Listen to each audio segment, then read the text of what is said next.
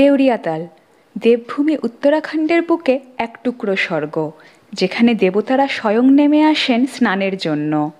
আমার প্রিভিয়াস ব্লগে আমরা তুঙ্গনাথ ট্রেক কমপ্লিট করে চলে এসেছিলাম সারি গ্রামে এখন বাজে সন্ধ্যে সাড়ে ছটা, আমরা জাস্ট সারিতে ঢুকলাম। চোপটা থেকে সারি ভিলেজের ডিস্টেন্স প্রায় বিশ কিলোমিটারের মতো। এখানে আমাদের জন্য বুক করা হয়েছে হোটেল ফার্স্ট ভিউ। চলুন রুমগুলো দেখিয়ে দেওয়া যাক।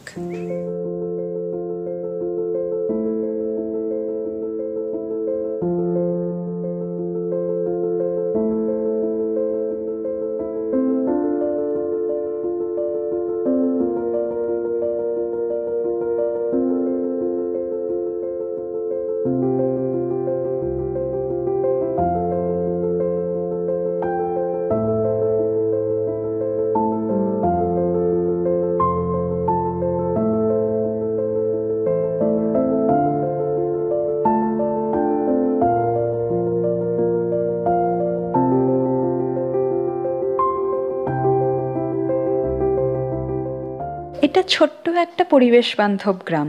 হোটেলের বারান্দা থেকেই প্রায় পুরো গ্রামটাকেই দেখতে পাওয়া যায়। দূরে দেখতে পাচ্ছিলাম অধরা চন্দ্রশিলাকে। পরদিন সকালে হোটেলের ছাদ থেকে রোদ ঝলমলে শাড়িকে দু চোখ ভরে উপভোগ করে নিলাম। দু হাজার ছয় সালে উত্তরাখণ্ড সরকার শাড়িগ্রামকে ইকো ট্যুরিস্ট ভিলেজ সম্মান প্রদান করেন।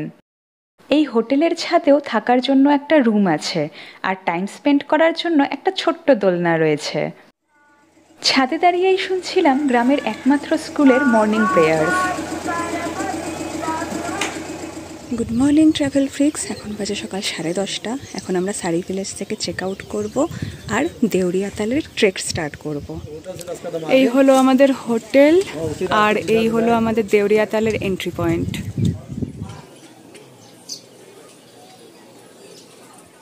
এখান থেকে প্রায় তিন কিলোমিটার ট্রেক করে পৌঁছাতে হয় দেউরিয়াতাল রাস্তা বেশ খাড়া আর পুরোটাই এবড়ো খেবড়ো পাথুরে।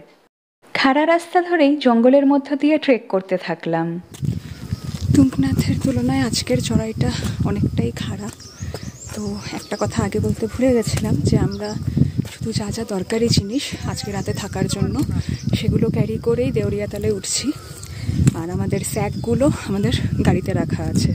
কালকে যখন আমরা নেমে যাব আবার সারিগ্রামে দেন আমরা একবারে বেরিয়ে যাব। এখানে অন দ্য ওয়ে প্রচুর ক্যাফেস আছে সো আপনাদের থাকার আর জলের বা খাবারের কোনো অসুবিধা হবে না।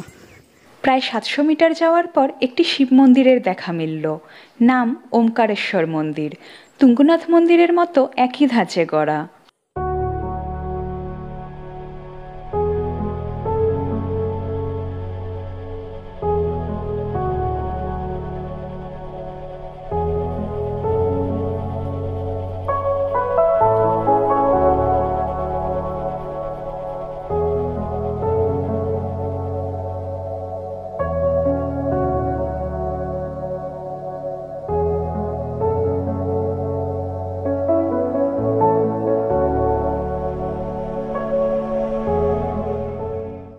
যে রাস্তা চড়তে আমাদের হাঁসফাঁস অবস্থা, সেই রাস্তায় স্থানীয় স্কুলের বাচ্চারা তরতরিয়ে পার করে ফেলছিল।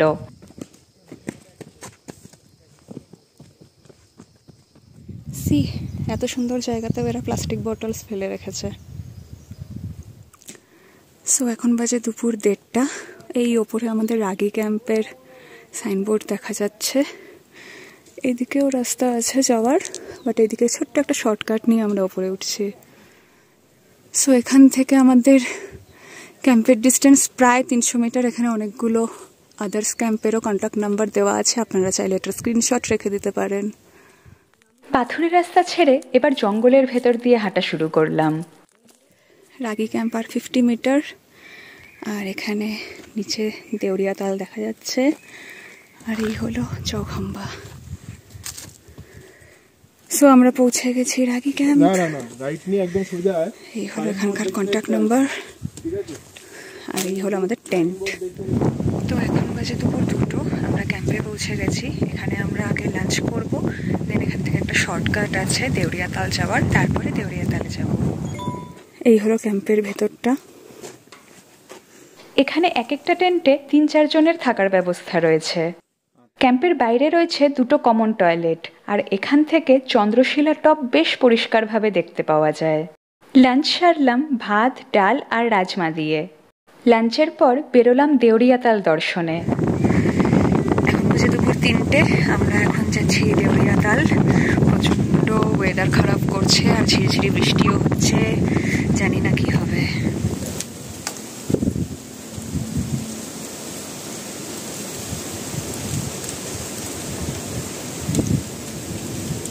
এখান থেকে দেউরিয়াতাল পৌঁছানোর শর্টকাট রাস্তার দূরত্ব প্রায় দুশো মিটার। জঙ্গলের মধ্যে দিয়ে হেঁটে হেঁটে পৌঁছালাম দেউরিয়াতালের কাছে। উচ্চতা প্রায় আট হাজার ফিট। সবুজাভ জলের একটা হ্রদ, আর তার ওপর ঝিরিঝিরি বৃষ্টির আওয়াজ পুরো পরিবেশটাকে আরও মোহময় করে তুলছিল। দেবতারা নাকি এই হ্রদের জলে স্নান করতে আসতেন বলে এর নাম হয়েছে দেউরিয়াতাল, বা দেবতাদের সরোবর। কথিত আছে, মহাভারতে পাণ্ডবদের বনবাসের সময় পঞ্চপাণ্ডব নাকি এই সরোবরের জল খেতে এসেছিলেন। তখন যক্ষ প্রত্যেক ভাইকেই প্রশ্নবাণে বিদ্ধ করেন। চারজন ভুল উত্তর দিয়ে এই হ্রদের জল পান করে মারা যান। অবশেষে যুধিষ্ঠির সঠিক উত্তর দিয়ে যক্ষের থেকে বাকি চারজনের প্রাণ ফিরিয়ে আনেন। তবে এই লেকের মূল আকর্ষণ হলো, এখান থেকে দেখতে পাওয়া যায় চৌখাম্বার প্রতিবিম্ব, যেটা আমরা পরদিন দেখতে পেয়েছিলাম। এরপর এখানকার ওয়াচ টাওয়ার থেকে দেখলাম সূর্যাস্তের রঙিন খেলা। এই সৌন্দর্যকে ভাষায় প্রকাশ করা যায় না। শুধু মন ভরে উপভোগ করতে হয়।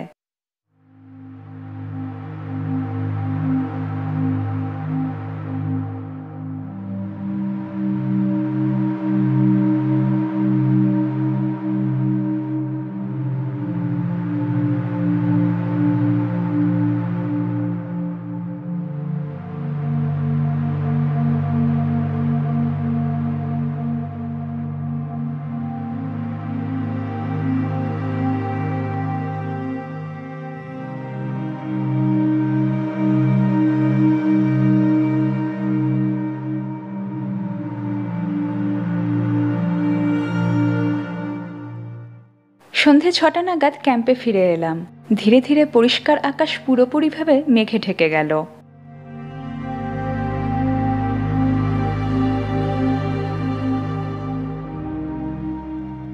অন্ধকার নামতেই ক্যাম্পের ডাইনিং প্লেসটিও দেখলাম বেশ আলাদাভাবে রঙিন হয়ে উঠেছে।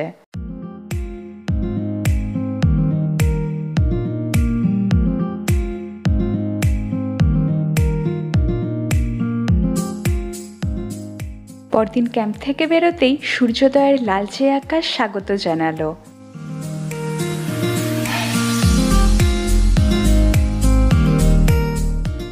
সকাল সকাল চলে এলাম দেউরিয়া তালে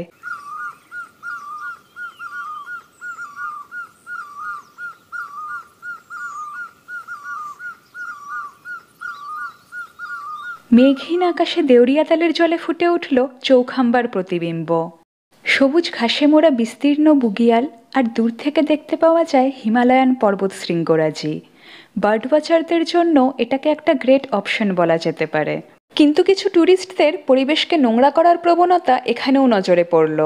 বাকি সময়টা জঙ্গলে ঢাকা পাহাড়ের মাঝে প্রকৃতির নিবিড় সান্নিধ্যেই কাটল।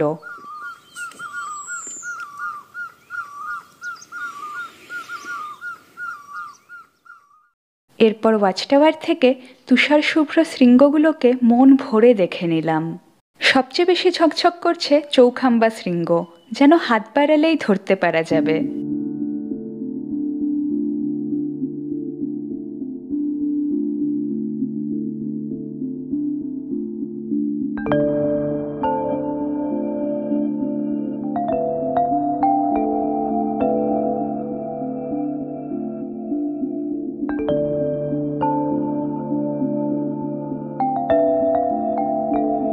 সাড়ে আটটা নাগাদ ক্যাম্পে ফেরত এসে পোহা আর পায়েস দিয়ে ব্রেকফাস্ট সারলাম।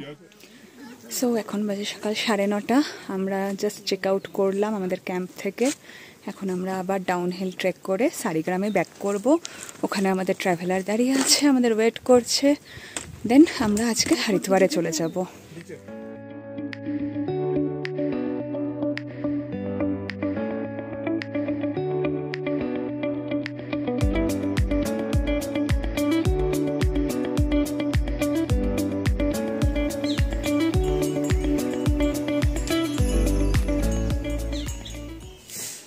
তো এখন বাজে সকাল এগারোটা। আমরা ডাউন হিল ট্রেক করে আবার সারি ভিলেজে ব্যাক করেছি। এবার আমরা গাড়ি করে সোজা পৌঁছে যাব হরিদ্বার। এখানেই শেষ হলো আমার Tungnath Chandrashila Deoriatal trek series Haridwar to Haridwar এটা আমরা যে এজেন্সি থ্রু বুক করেছিলাম, তার ডিটেলস আরও একবার স্ক্রিনে দিয়ে দিলাম।